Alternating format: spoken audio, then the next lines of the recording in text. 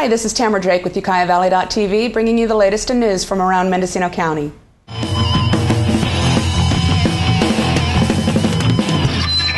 History was made Tuesday as Barack Obama took the oath of office for the presidency of the United States. As festivities continued throughout the day in Washington, D.C., we attended the inaugural ball here in Ukiah at the Redwood Empire Fairgrounds.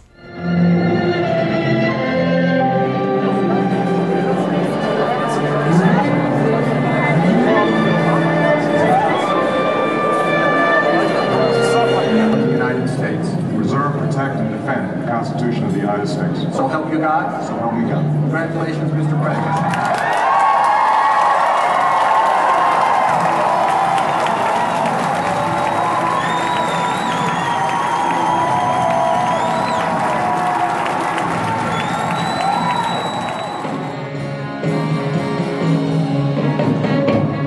We are the children from one family tree. When the beat of the When asked what their hopes were for the Obama administration, guests at the party had this to say. next four years, if the economy turns around and we can have a lot more peace in the world, uh, I feel like Barack Obama can lead us all to it. He's got the demeanor and the intelligence and the um,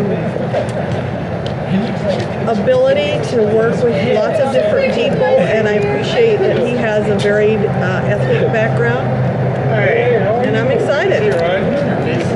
We're very hopeful that this administration will make will give us some financial security and stability and also provide health care for all Americans.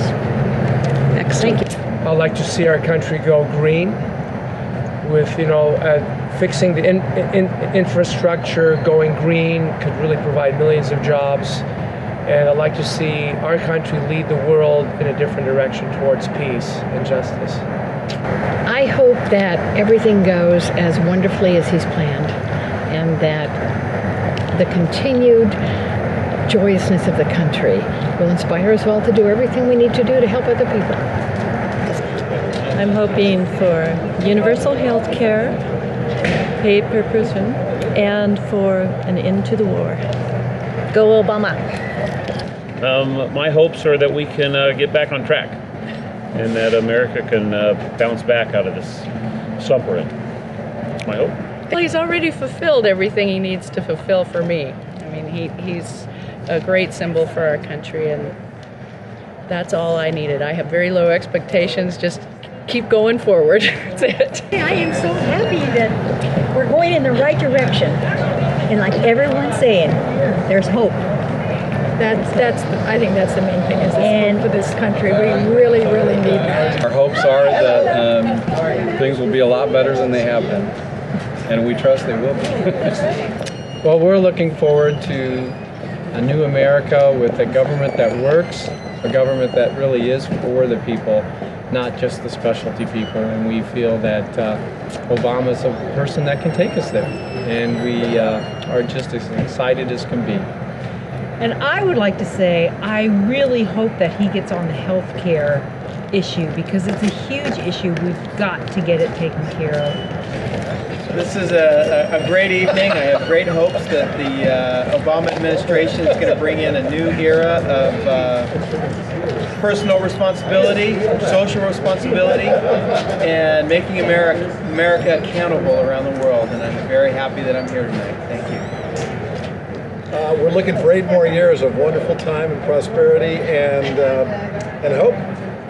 Which, what I'm sure what everybody's saying. Thanks. Thank you. Hooray! It's about time in our lifetimes. What an amazing thing. What an amazing thing. Uh, at this point, he can do just about anything, and my hopes will be met. This is not George Bush. More smiles, less worry. During President Obama's inauguration speech, there was a moment when he seemed to be speaking directly to the Mendocino County Board of Supervisors. He said, On this day, we come to proclaim an end to the petty grievances and false promises, the recriminations and worn out dogmas that for far too long have strangled our politics. Let's hope they were listening. This is Tamara Drake with UkiahValley.tv. Check back often for more local news.